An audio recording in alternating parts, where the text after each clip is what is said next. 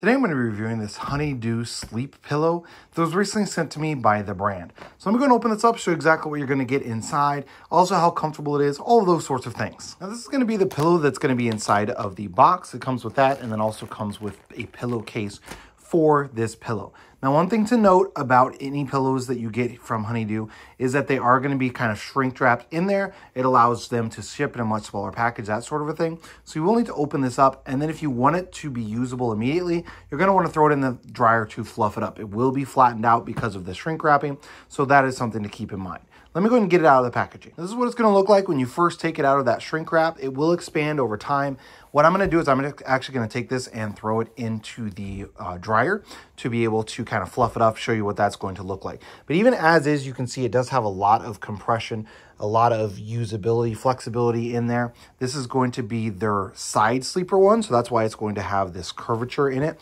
So if you're a side sleeper, it allows you to have a spot for your hands, your head can get further up on the pillow, that sort of thing. And then it's also going to come with the specific pillowcases for their, their side sleeper pillows as well. So I'm going to go and throw this in the dryer. So I popped this in the dryer for 15, 20 minutes and you can see how much it did fluff up. Definitely a really good amount and obviously comes right back.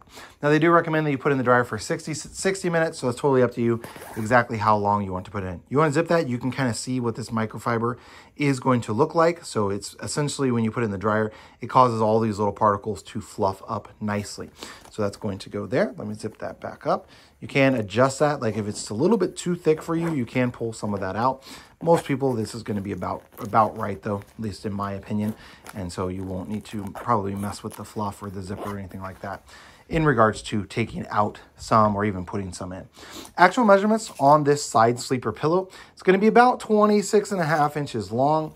On the sides, it's going to be right at 16 inches on both of those. And then the sensor, it's obviously going to be narrower, so it's going to be right at 11 inches.